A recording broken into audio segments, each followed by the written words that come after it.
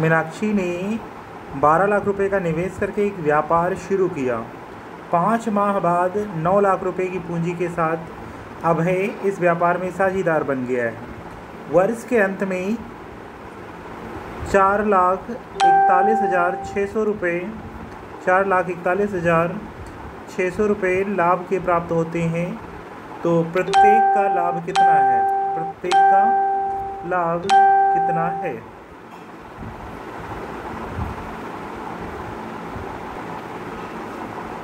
प्रत्येक का लाभ बताना है।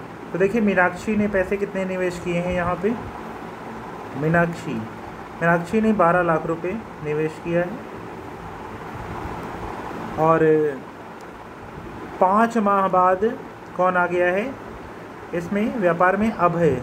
अभय नौ लाख रुपए। ठीक है?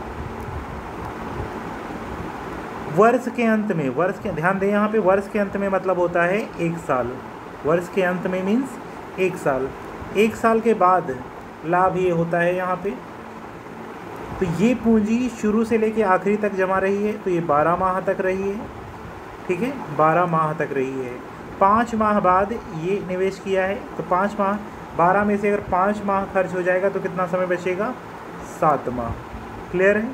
तो यहाँ पे इसका रेशियो निकाल लीजिए। पाँच पाँच ज़ीरो आप काट लीजिए यहाँ पे। तीन से काट दीजिए। तीन को नौ, तीन चको बारह। और, तीन से कट जाएगा तीन चको बारह।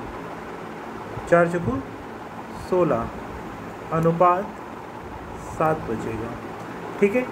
तो इस लाभ को सोलह अनुपात सात के अनुपात में बांटा जाता है।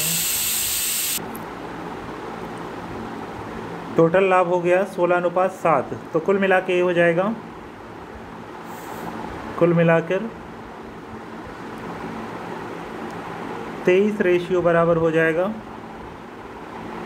चवालीस हज़ार सॉरी चवालीस सोलह डबल ज़ीरो।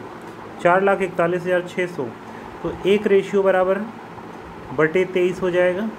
सॉल्व कर लेते हैं। तेईस एक कम तेईस। और यहाँ पे दो बचेगा। एक, तेईस, नौ बार जाएगा। चार बचेगा, तेईस दोनों, छियालीस। डबल ज़ीरो ये कैंसिल हो गया, उन्नीस हज़ार दो सौ, एक रेशियो बराबर। प्रत्येक में से लाभ कितना है? प्रत्येक का लाभ। तो पहले वाले का लाभ बताना है। मान लो अमित का बताना होता। देखिए, अगर आपको मीनाक्षी का बताना है तो सोलह से गुड़ा कर दीजिए। अगर अमित का बताना है तो सात से गुड़ा कर दीजिए। चलिए हम अमित का निकाल लेते हैं। तो यहाँ पे गुड़ा कर देते हैं सात से। एक सौ बानबे, डबल ज़ीरो। सात दूना चौदह, सात नौ तिरसठ, एक चौंसठ, सात, एक कम सात छः तेरह। तो ये हो गया एक लाख चौंतीस हज़ार चार सौ। ये इसका फाइनल लाभ हो गया। किसका? अमित का। अगर आपको मीनाक्षी का निकालना है तो किससे गुणा कर देना है? सोलह से। ठीक है?